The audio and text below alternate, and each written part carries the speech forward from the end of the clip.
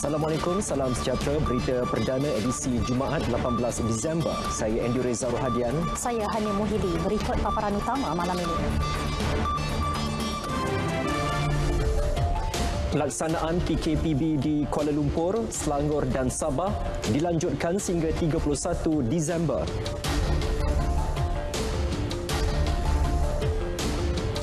Isteri kepada Perdana Menteri kedua Tun Rahah Muhammad Noh meninggal dunia pada usia 87 tahun.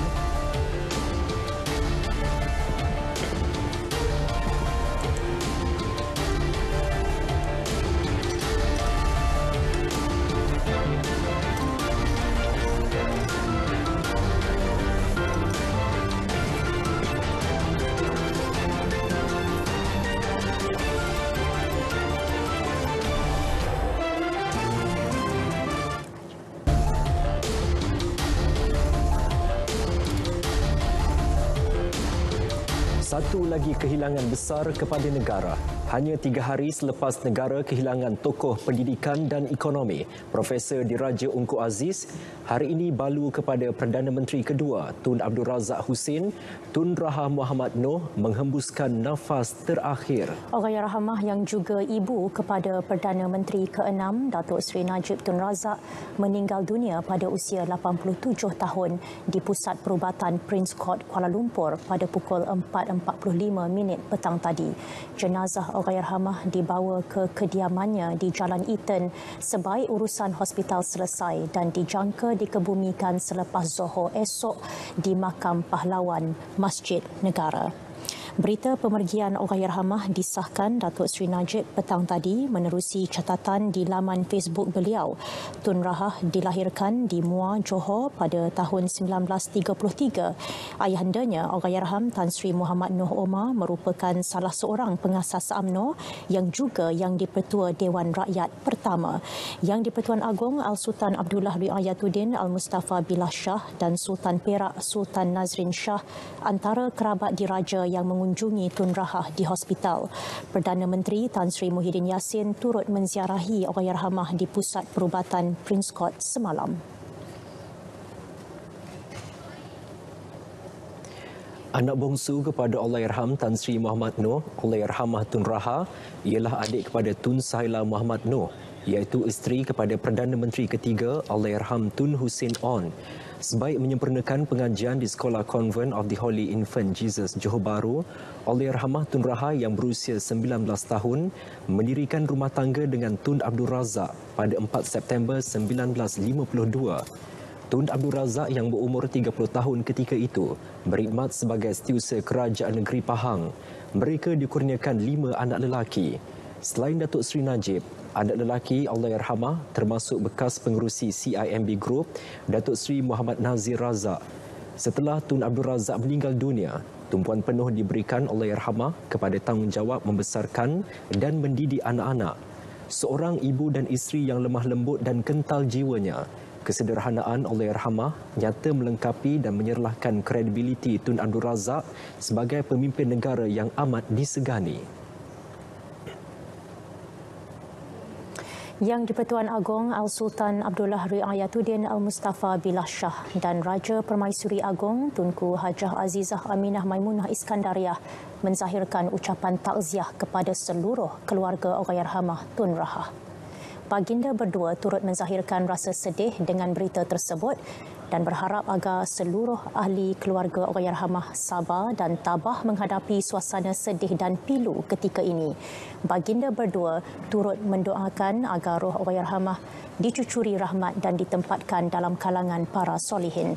Al-Sultan Abdullah berangkat menziarahi Allahyarhamah di Pusat Perubatan Prince Court Kuala Lumpur semalam sebelum berangkat ke Abu Dhabi pagi tadi.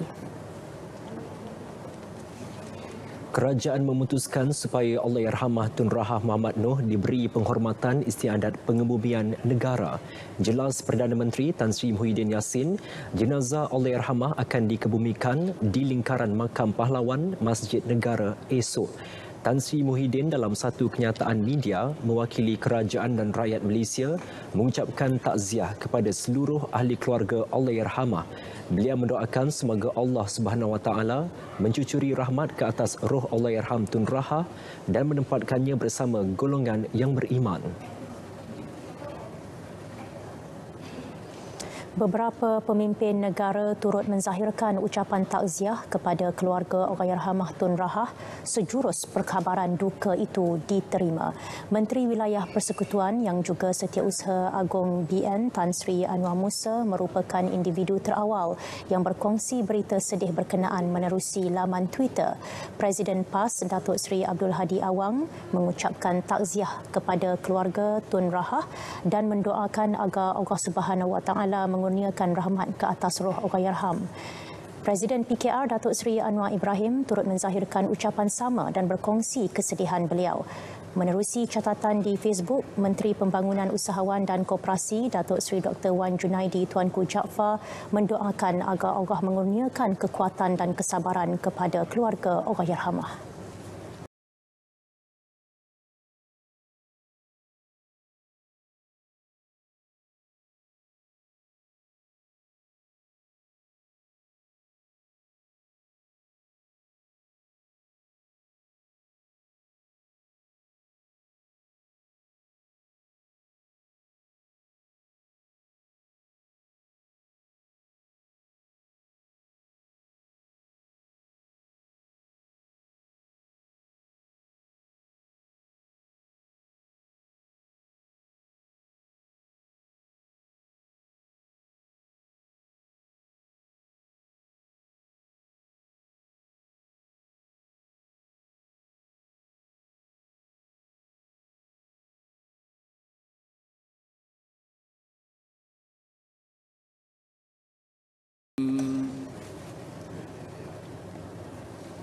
Amin amin ya rabbal alamin. Semoga roh Allah rahmah ditempatkan dalam kalangan orang yang beriman. Kita ke berita selanjutnya.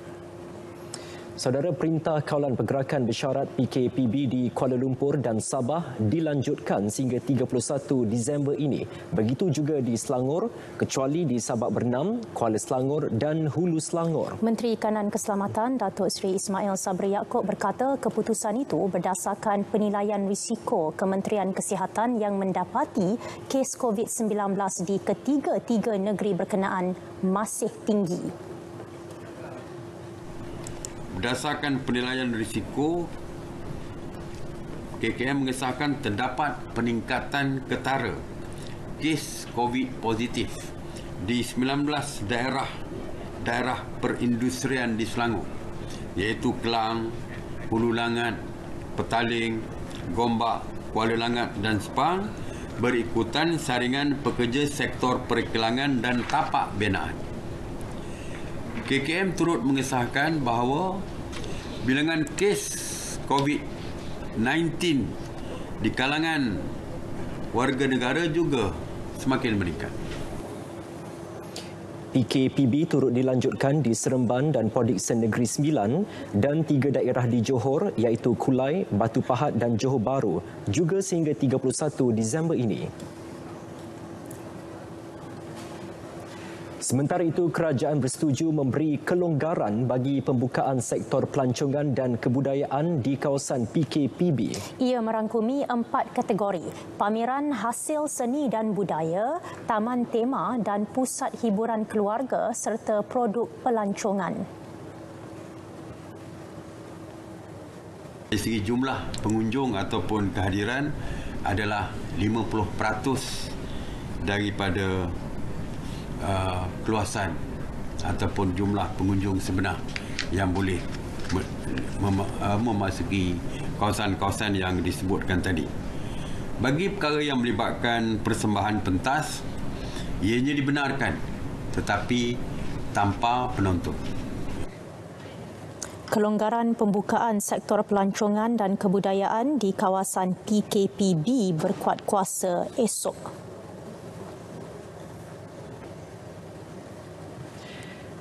Pada sidang media hari ini, Datuk Seri Ismail turut mengumumkan beberapa SOP bagi sambutan Christmas. Antaranya melibatkan upacara sembahyang di gereja dan amalan kunjung mengunjung. Sambutan untuk kunjung mengunjung dibenarkan pada 25 pada hari Christmas saja. Ya. Hari pertama lah macam kita hari raya puasa hari pertama Walaupun rumah terbuka yang melibatkan orang ramai, aktiviti caroling dari rumah ke rumah di kawasan ke semua kawasan adalah tidak dibenarkan. Pada 24 Disember, upacara sembahyang perlu diadakan bermula pukul 5 petang sehingga pukul 9.30 malam melibatkan dua sesi diselangi dengan operasi sanitasi selama 45 minit. Manakala pada 25 Disember, upacara sembahyang perlu diadakan bermula 7 pagi sehingga 1.45 tengah hari melibatkan tiga sesi. Baik, kita beralih ke perkembangan terkini COVID-19. 1,683 kes baharu direkodkan hari ini menjadikan jumlah kumulatif kes positif 90,000 816 kes. Kes sembuh pula 1,214 menjadikan jumlah kumulatif kes pulih 75,244 atau 82.9% daripada keseluruhan kes. Tiada kes kematian dilaporkan dan Selangor masih mencatat kes baharu tertinggi diikuti Sabah. Berikut data terkini COVID-19 di Malaysia diikuti kes positif harian mengikut negeri.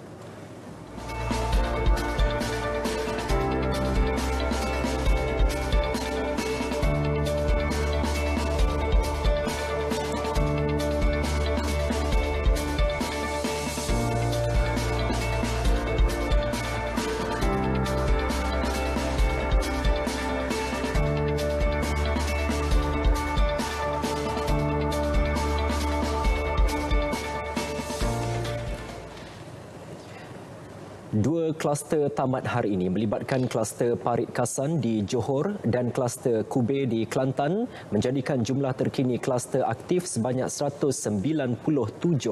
Enam kluster baharu turut dilaporkan dengan tiga merupakan kluster tempat kerja.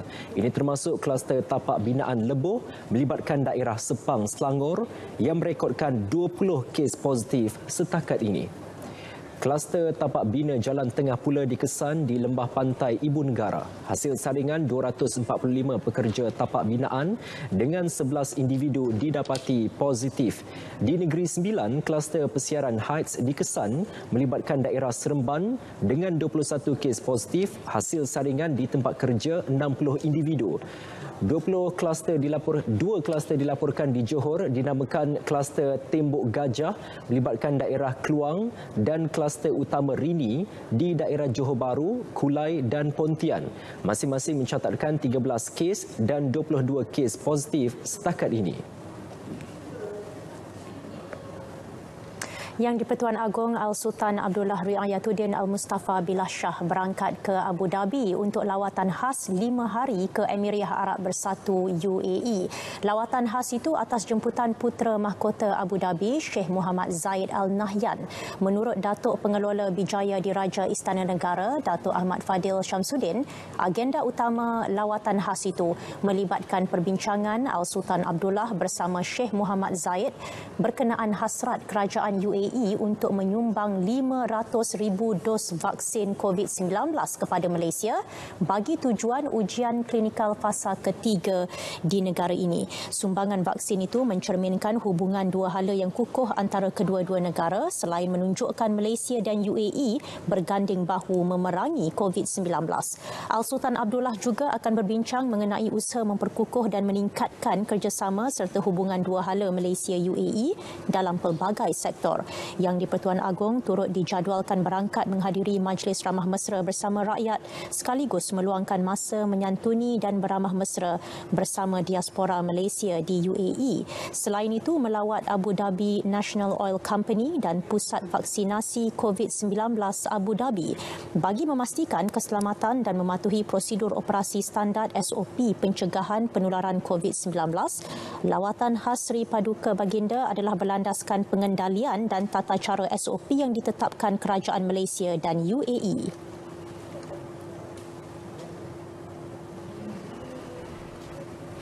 TUDM akan tamatkan perkhidmatan helikopter Nuri dalam tempoh 5 tahun. Laporan penuh bersama kami dalam berita perdana teruskan bersama kami.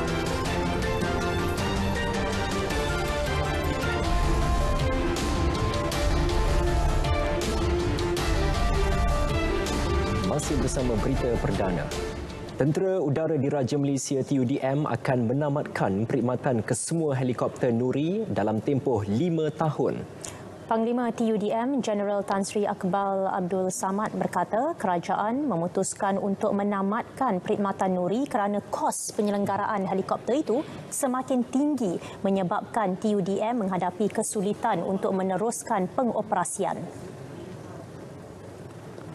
Jelas Jeneral Tan Sri Akbal, Nuri yang telah berkhidmat melebihi 52 tahun kini semakin usang kerana kebanyakan komponen serta alat ganti sudah tidak dikeluarkan kilang.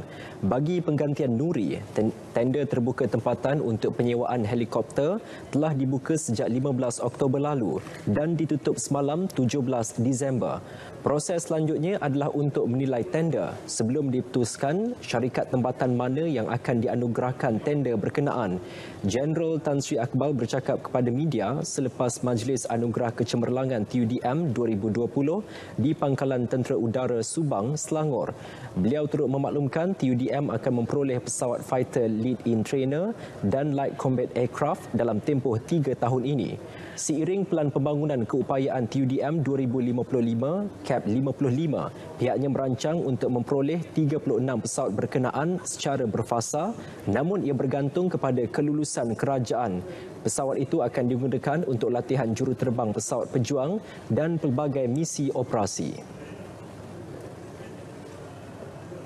Kapten Rohana Jupri mencipta sejarah wanita pertama dinaikkan pangkat Laksmana Pertama Tentera Laut Diraja Malaysia TLDM. Berkhidmat 36 tahun dalam TLDM, anak jati Tanjung Karang Selangor itu memecah tradisi TLDM sejak ditubuhkan 86 tahun lalu. Pengiktirafan tersebut membuktikan kredibiliti wanita dalam TLDM diiktiraf oleh pengurusan tertinggi. Saya ingin sekali for the next uh, future ada lagi uh, apa ni calon-calon yang boleh mengikuti jejak kaki langkah kita saya and then of course uh, dalam TLDM peranan wanita memang direcognize oleh uh, pengurusan tertinggi kita dan saya yakin semua uh, pegawai wanita dalam TLDM dapat melaksanakan tugas yang diamanahkan dengan baik dan cemerlang. Majlis Pemakaian disempurnakan Panglima Tentera Laut Laksmana Tan Sri Muhammad Reza Muhammad Sani. Turut diadakan pemakaian pangkat empat pegawai dan serah tugas asisten ketua staf material antara Laksmana Muda Datuk Muhammad Rizwan Hamzah dan Laksmana Muda Datuk Effendi Suhaimi. Banjir gelombang keempat melanda Terengganu dengan angka penduduk terjejas terus meningkat 14 pusat pemindahan sementara PPS dibuka menempatkan 1,139 penduduk daripada 289 keluarga di Kemaman dan Dungon. Di Hulu Kemaman, lebih 2,000 penduduk di beberapa kampung terputus hubungan selepas jalan keluar masuk ke kampung mereka dinaiki air pagi tadi. Limpahan air sungai Tebak mula menenggelami jalan di beberapa lokasi.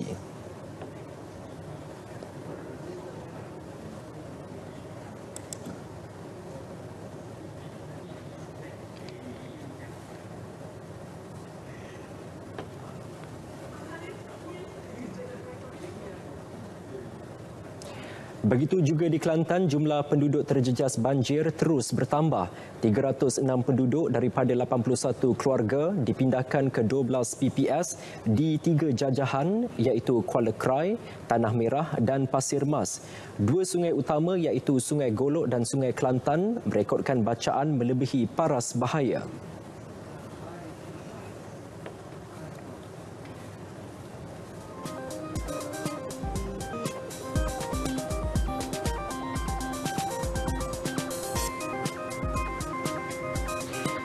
Sementara itu, 500 penduduk orang asli Batik di kampung Pasir Linggi, Gua Musang terputus hubungan selepas air sungai naik melimpahi jambatan sejak awal pagi tadi.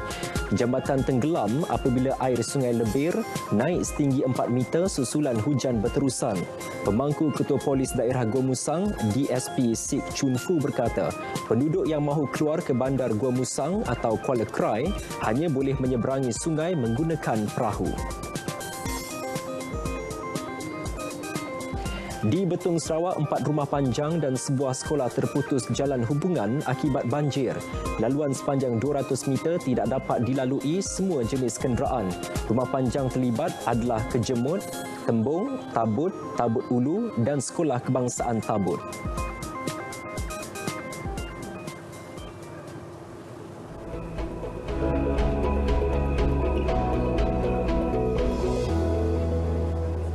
dan salam hormat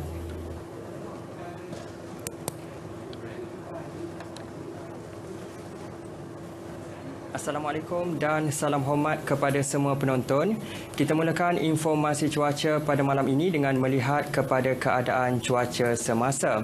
Dapat diperhatikan ketika ini hujan lebat kini sedang berlaku di kebanyakan tempat melibatkan kawasan di Perlis, Kedah dan juga Pulau Pinang yang mana kami jangkakan keadaan ini boleh berlanjutan sehingga ke lewat malam nanti.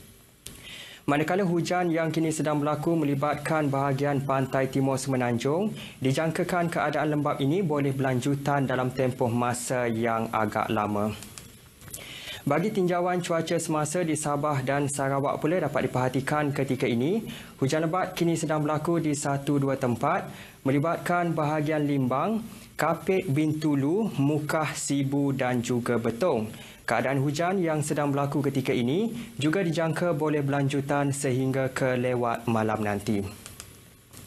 Baiklah untuk makluman semua juga, Met Malaysia telah pun mengeluarkan amaran cuaca peringkat waspada melibatkan kawasan-kawasan yang berwarna kuning yang mana hujan lebat dijangka berlaku di kawasan-kawasan berkenaan sehingga 20 Disember nanti. Manakala kawasan-kawasan yang berwarna jingga iaitu Hulu Terengganu, Dungun, Kemaman dan juga Kuantan, Met Malaysia menjangkakan hujan lebat yang berpanjangan boleh berlaku di kawasan berkenaan sehingga 19 Disember nanti. Selain itu, Met Malaysia juga telah pun mengeluarkan amaran cuaca peringkat waspada melibatkan bahagian Sandakan, Kudat Pantai Barat dan pedalaman di Sabah termasuklah di wilayah Persekutuan Labuan yang akan berkuat kuasa sehingga 20 Disember nanti. Manakala di Sarawak pula hujan lebat dijangka berlaku di kawasan-kawasan yang berwarna kuning bermula pada 20 Disember sehingga 21 Disember ini. Oleh itu dinasihatkan kepada penduduk di kawasan yang terlibat agar berhati-hati dan mengambil langkah yang berjaga-jaga dalam menghadapi keadaan cuaca yang tidak diingini berlaku. Baiklah bagi tinjauan keadaan angin dan ombak pula, Met Malaysia juga telah pun mengeluarkan amaran angin kencang dan laut bergelar peringkat pertama, kedua dan ketiga di kawasan-kawasan yang berwarna berkenaan yang akan berakhir pada 20 Disember nanti. Oleh itu keadaan ini adalah amat berbahaya untuk aktiviti menangkap ikan, bot-bot kecil dan perkapalan serta aktiviti pantai dan sukan laut. Baiklah, sekian sahaja informasi cuaca pada malam ini. Sebelum berpisah, kita ikuti tinjauan cuaca bagi bandar-bandar utama di Malaysia. Sekian, Assalamualaikum.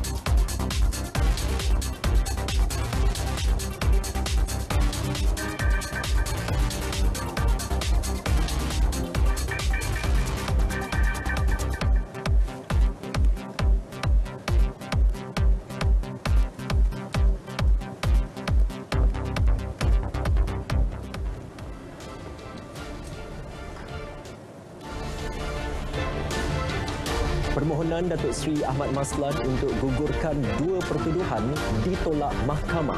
Paparan penuh menyusul seketika nanti.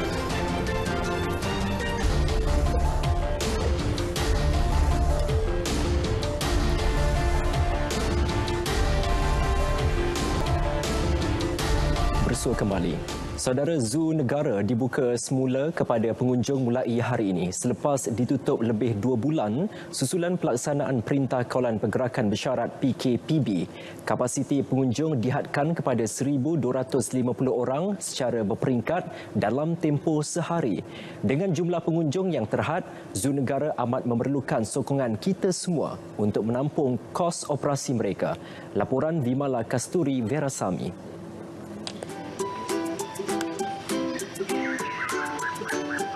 Zoo Negara sudah pasti dekat di hati rakyat Malaysia terutamanya zaman kanak-kanak kerana rombongan sekolah tidak lengkap tanpa melawat habitat haiwan ini. Namun kini penularan COVID-19 memberi impak kepada haiwan-haiwan terlibat. Bagaimanakah masalah ini dapat diatasi untuk melindungi fauna bagi generasi akan datang? Timbalan Presiden Zoo Negara Rosli Hamad berkata sumbangan yang diterima daripada pelbagai pihak termasuk syarikat dan individu amat menggalakkan bukan sahaja dari segi kewangan malah makanan. Sumbangan itu membantu pengurusan zoo memelihara kebajikan haiwan namun ia tidak mencukupi. PKP dulu kita dapat uh, kolek sebanyak 10 juta. Sekali ini berkurangan sikit pasal uh, tidak begitu serius kita ada kita mampu untuk menaja haiwan kita ya menjaga haiwan kita dulu memang kita kekurangan awal uh, wang sangat Syarikat barangan kemas Habib Jewels turut tampil memberi sokongan dengan menyumbangkan lebih RM50,000 kepada Zoo Negara. Selain itu, enam wafer emas edisi terhad juga dilancarkan untuk orang ramai membeli sebagai tanda sokongan mereka kepada haiwan di Zoo Negara setiap uh, go wafer kita jual, kita akan hadiahkan RM5 uh, ke pihak Zoo Negara. Uh, so that's why yang kita bagi advance dulu RM50,000 uh, ringgit ni. Jadi kalau kita dapat jual lebih lagi secepat mungkin then the money will keep flowing lah into uh. Zoo Negara turut mengalu-alukan sumbangan daripada pelbagai pihak untuk memastikan kelangsungan kehidupan haiwan. Bimalah Kasturi Birasami, Berita RTM. Ya, kita ke perkembangan selanjutnya. Mahkamah Session Kuala Lumpur menolak permohonan Ahli Parlimen Pontian Datuk Seri Ahmad Maslan untuk menggugurkan dua pertuduhan yang dihadapinya. Ia berhubung pertuduhan tidak mengisytiharkan 2 juta ringgit yang diterima daripada Datuk Seri Najib Tun Razak kepada Lembaga Hasil Dalam Negeri LHDN dan memberi penyataan palsu kepada Suruhanjaya Pencegahan Rasuah SPRM. Ini kali ketiga Datuk Seri Ahmad gagal menggugurkan dua pertuduhan tersebut. Perkara itu dimaklumkan Timbalan Pendakwa Raya Siti Nurhafizan Zakaria semasa pengurusan kes di hadapan Hakim Mahkamah Session Ahmad Kamar Jamaluddin. Hakim menangguhkan perbicaraan yang sepatutnya didengar pada 24 Disember ini selepas dimaklumkan beberapa anggota dalam pasukan pendawaan dan pembelaan dikuarantin kerana mempunyai kontak rapat kepada pesakit COVID-19. Datuk Seri Ahmad didakwa melibatkan diri dalam pengubahan wang haram dengan cara cara tidak melaporkan pendapatan sebenar yang diterima daripada bekas Perdana Menteri itu kepada LHDN. Beliau dituduh menerima wang tersebut yang dipercayai sebagai hasil daripada aktiviti yang menyalahi undang-undang pada 27 November 2013. Tarikh perbicaraan kes ditetapkan pada 5 Julai depan. Mahkamah Session Khas Rasuah Butterworth menetapkan 19 Februari tahun depan untuk pengurusan kes salah guna kuasa bekas Ketua Menteri Pulau Pinang Lim Guan Eng. Hakim Ahmad Azhari Abdul Hamid membuat keputusan tersebut selepas pihak pendawaan dan pembelaan memerlukan masa bagi melengkapkan beberapa dokumen berkaitan sebelum diserahkan kepada mahkamah. Hakim turut menetapkan tarikh sama bagi sebutan kes melibatkan Betty Chiu Gek Cheng bersama ahli perniagaan Pang Li Kun yang berdepan tuduhan pengubahan wang haram. Mengikut pertuduhan, Guan Eng yang ketika itu pengerusi Lembaga Tawaran Penang Development Corporation PDC menggunakan kedudukannya untuk suapan wang bagi isterinya melalui syarikat Excel Property Management and Consultancy Sendirian Berhad. Ia bagi memastikan syarikat Magnificent Emblem Sdn Berhad ditawarkan jemputan cadangan perkampungan pekerja di Juru seberang Perai Tengah dan sebahagian lot di Batu Kawan seberang Perai Selatan. Projek bernilai 11.6 juta ringgit itu menyaksikan isteri Setiausaha Agong DAP tersebut secara tidak langsung mempunyai kepentingan. Guan Eng dituduh melakukan kesalahan tersebut antara Ogos 2013 dan 3 Mac 2016 di Pejabat Ketua Menteri di Komtar Georgetown. Lee Kun pula didakwa bersubahat dengan Guan Eng melakukan perbuatan tersebut di tempat dan tarikh sama.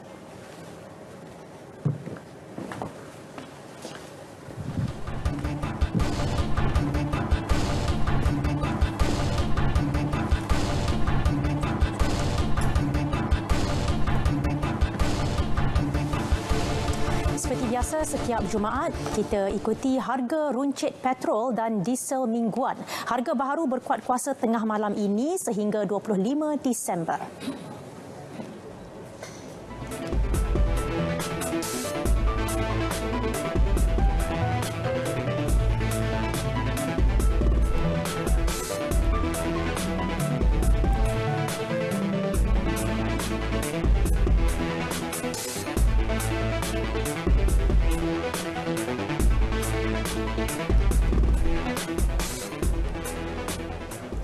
Skim harga maksimum musim perayaan Christmas 2020 akan dilaksanakan selama 10 hari dari 22 hingga 31 Disember. Ia melibatkan 19 jenis barangan. Menteri Perdagangan Dalam Negeri dan Hal Ehwal Pengguna Datuk Seri Alexander Nantalinggi berkata skim itu dilaksanakan di bawah Akta Kawalan Harga dan Anti Pencatutan 2011. 19 barangan terlibat kawalan harga terdiri daripada ayam, telur telur ayam, sayur-sayuran, daging kambing dan daging babi. Walaupun perayaan Christmas disambut secara sederhana mengikut prosedur operasi standard SOP yang telah ditetapkan kerajaan, kementerian tetap menjangkakan permintaan terhadap barangan akan meningkat. Tindakan tegas akan diambil terhadap peniaga yang ingkar di bawah Akta Kawalan Harga dan Anti Pencatutan 2011. So, Uh, Kementerian Perdagangan Dalam Negeri dan Halal Pengguna akan berada di lokasi-lokasi yang menjadi tumpuan orang ramai membeli belah seperti pasar awam, pasar tani, pasar raya untuk menjalankan pemeriksaan dan pemantauan. Langkah-langkah ini mencerminkan usaha berterusan bagi melindungi pengguna daripada aktiviti pengambilan keuntungan yang berlebihan oleh peniaga-peniaga yang tidak beretika semasa musim perayaan ini. Peka Group Berhad bersedia menghasilkan lebih banyak pelapik kulit untuk kerusi kereta pada tahun kewangan semasa yang berakhir 30 Jun tahun depan. Menurut Ketua Pegawai Kewangannya, Fu Ken Ni, permintaan tinggi diterima daripada pelanggan otomotif domestik we have arrived at the pre-MCO level. Our full capacity is about 14,000 uh, cover car seats per month. Um, we are now currently approximately 12,000. So we are uh, we are doing uh, about more than 80% of our full capacity. Syarikat tersebut optimis jualan akan berterusan tahun depan kerana pemilikan kereta persendirian dijangka meningkat susulan aspek keselamatan ekoran situasi semasa COVID-19. Uh, in terms of the productions that is coming from uh, Perodua and Proton, um, they've given us a very good uh, six-month projection and it looks uh, pretty uh, positive over the next uh, couple of months. PECA turut berusaha mengembangkan perniagaan ke Amerika Syarikat, Eropah dan beberapa negara lain di Asia bagi meningkatkan pasaran global serta mempunyai penjualan otomotif tempatan.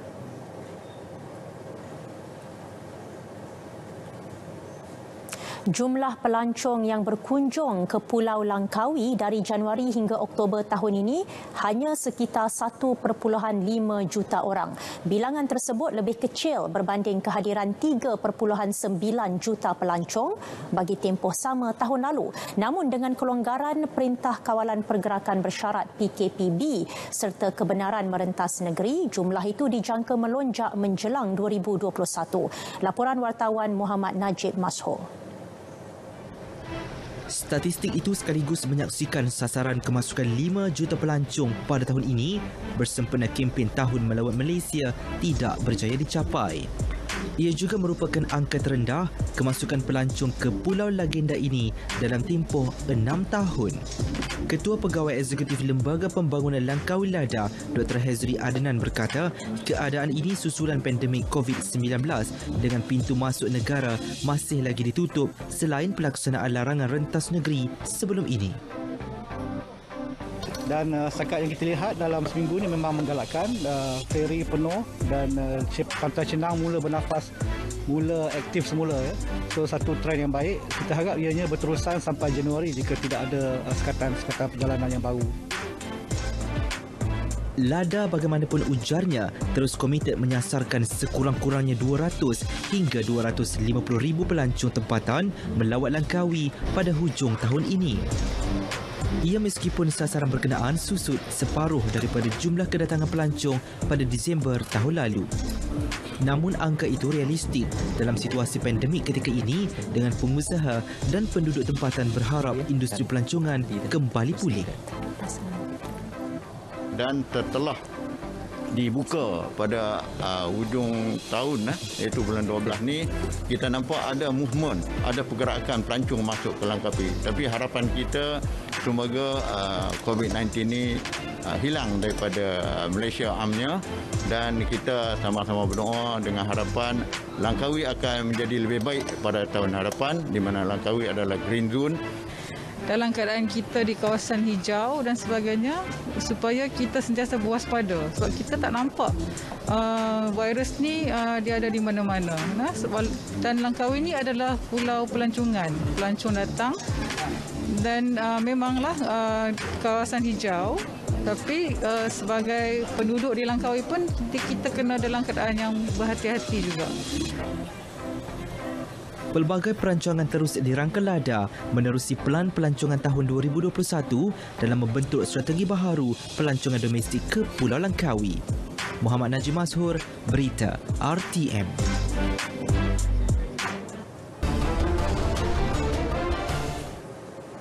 Baik, terima kasih Andy dan juga Hanim. Assalamualaikum dan salam sejahtera.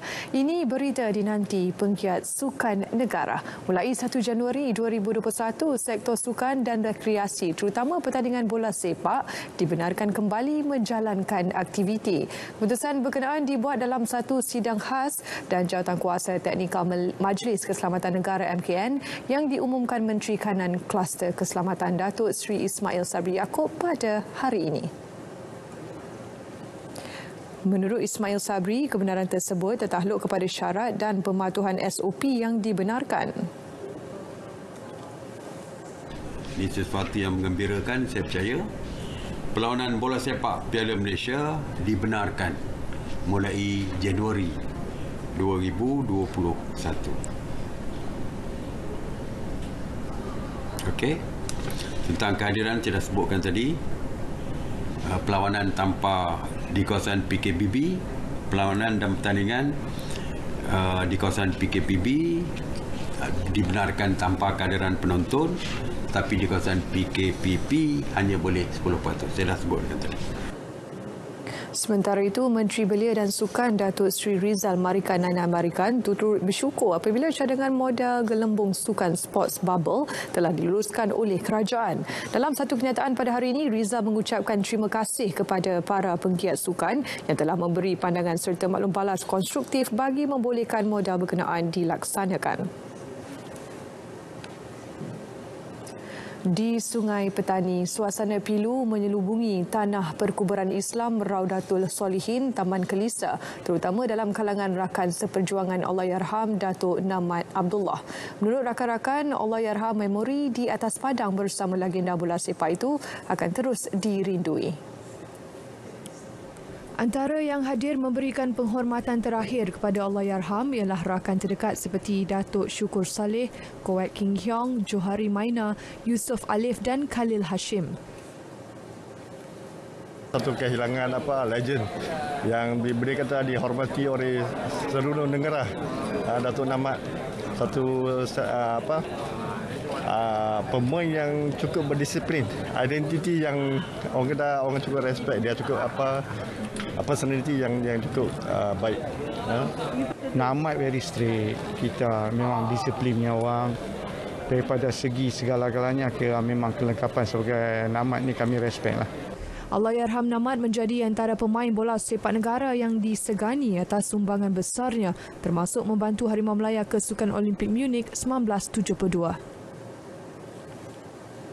Dalam perkembangan sukan pemotoran, juara dunia tujuh kali Formula One Lewis Hamilton percaya Malaysia mampu melahirkan pelumba berkualiti andai ia bermula secara serius di peringkat akar umbi. Pandangan Hamilton itu disuarakan menerusi temu bual eksklusif secara maya bersama RTM. Menurut Hamilton, pendedahan awal menerusi sukan go-kart serta bersaing dalam kejohanan perlumbaan antarabangsa merupakan kunci utama kepada kejayaan. The toughest competition is in Europe.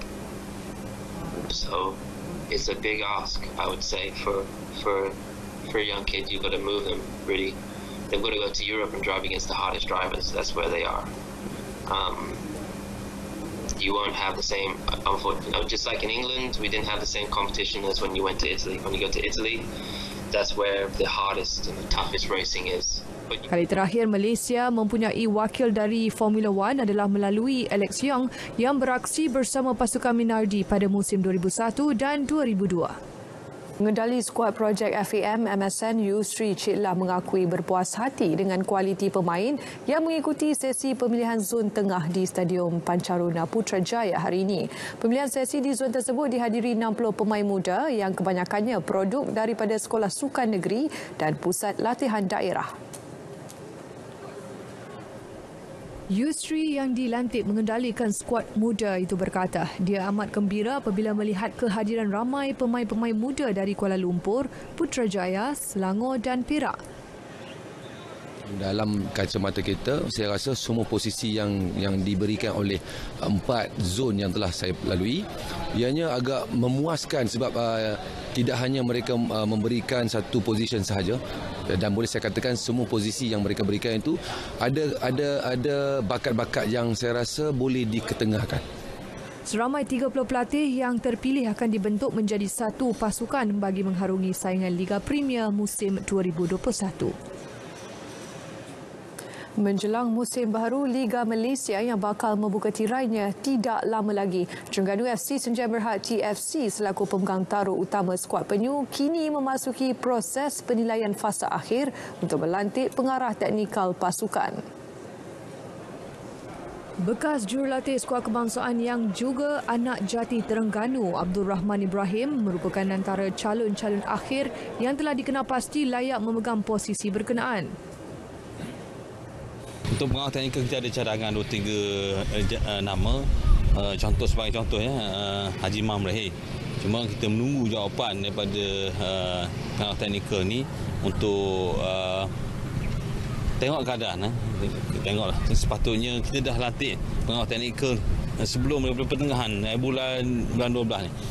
Abdul Rahman yang kini berusia 74 tahun pernah membimbing skuad penyu pada 1983, 1998 dan 2014 dengan pencapaian terbaik mara ke pentas final Piala Malaysia edisi 1998 selain membantu Malaysia meraih pingat perak dalam Sukan C 1987 sewaktu bergelar jurulatih kebangsaan. Kesedaran menunaikan cukai lembaga hasil dalam negeri LHDN dalam kalangan penggiat industri sukan elektronik isukan masih rendah. Oleh kerana itu, Persatuan Sukan Elektronik Kuala Lumpur ESKL merancang untuk mempergiatkan kempen kesedaran bermula tahun hadapan. Menurut Presiden ESKL Hisham Darus, pihaknya menerima banyak aduan daripada beberapa individu yang memiliki reputasi besar dalam industri isukan berikutan diburu LHDN selain berdepan dengan tindakan mahkamah.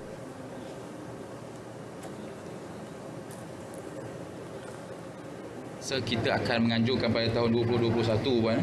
Kita akan anjurkan kempen-kempen, kita akan anjurkan aktiviti dan kejohanan bersekali dengan uh, kempen kesedaran untuk membayar cukai uh, kepada streamers, kepada host, kepada casters, kepada tournament organisers untuk memberitahu kepada atlet-atlet kita ni wang kemenangan yang yang diperolehi itu adalah bukan mutlak milik mereka ada sebahagiannya perlu diserahkan kepada negara untuk kemajuan negara di masa akan datang.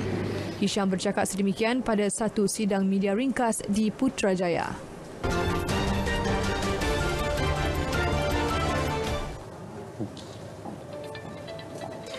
Benarlah bagai dikata, berpantang maut sebelum ajal. Penunggang basikal wanita ini terselamat meskipun selepas dilanggar lori bermuatan berat lalu terperosok di bawah kenderaan tersebut. Insiden cemas dirakam di selatan China menyaksikan wanita tersebut tidak mengalami kecederaan serius.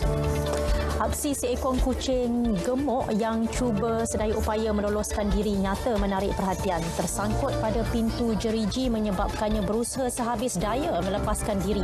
Kegigihan haiwan comel ini dikongsi Dan menerusi TikTok.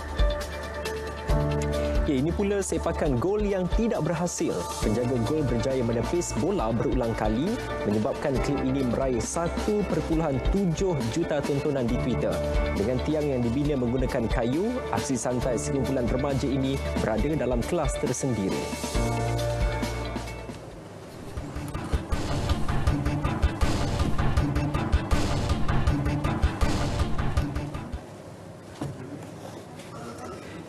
Ya, saudara usaha mengangkat industri nasyid negara ke peringkat lebih tinggi menerusi penganjuran Anugerah Nasyid Malaysia A6 2020 adalah sesuatu yang dinanti-nantikan. Teruja dengan inisiatif yang akan direalisasikan buat julung kalinya pada 27 ya. Disember ini, kumpulan nasyid popular Hijaz yang telah berkecimpung dalam industri seni sejak 23 tahun lalu hmm. menzahirkan penghargaan.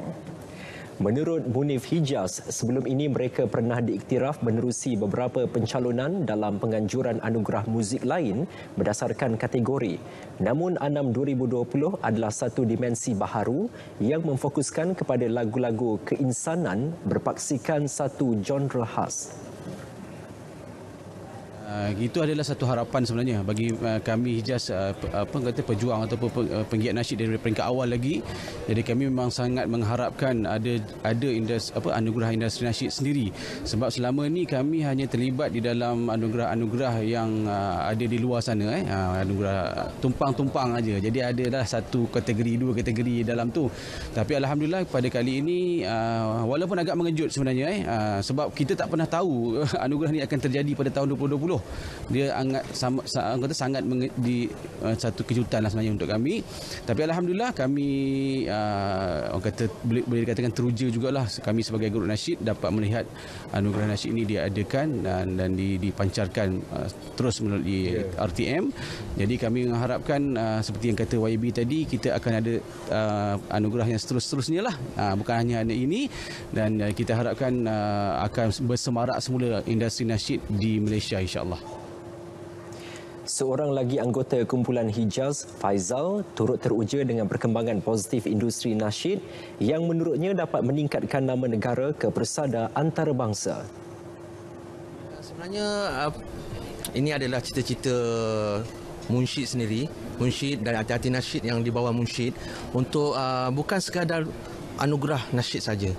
Sebenarnya memang kalau kita lihat di uh, di negara-negara lain berkiblatkan nasyid dia sebut nasyid dia dia akan berkiblatkan kepada Malaysia.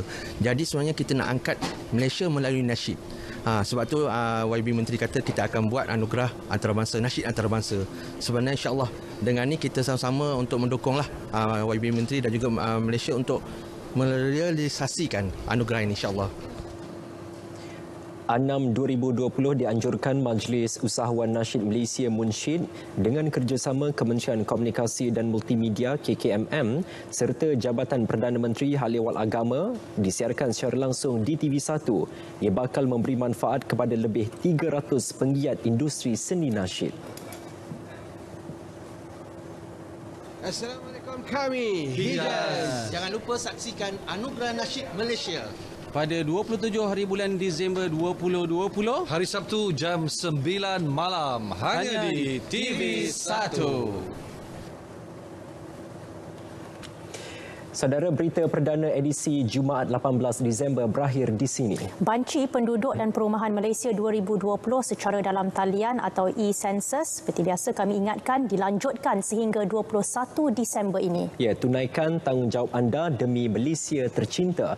Layari laman web www.mycensus.gov.my untuk maklumat lanjut. Juga pastikan kita sama-sama terus ikut SOP bagi menghindar penularan COVID-19. Ya. Assalamualaikum. Dan jumpa lagi.